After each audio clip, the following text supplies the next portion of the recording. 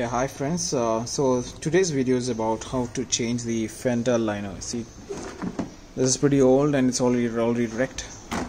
If you can see, it's also broken at one end. So I thought I'll replace it with a new one.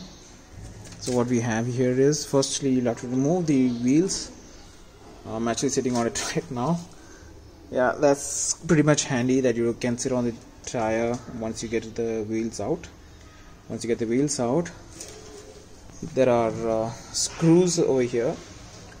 And you have to remove them one by one. And you also have a rivet. I'll let me show you. Yeah.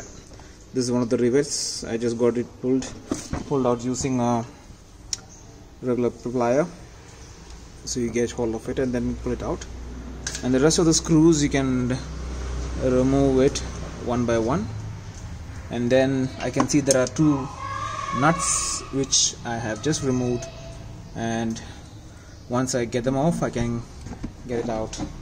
So I also have a brand new liner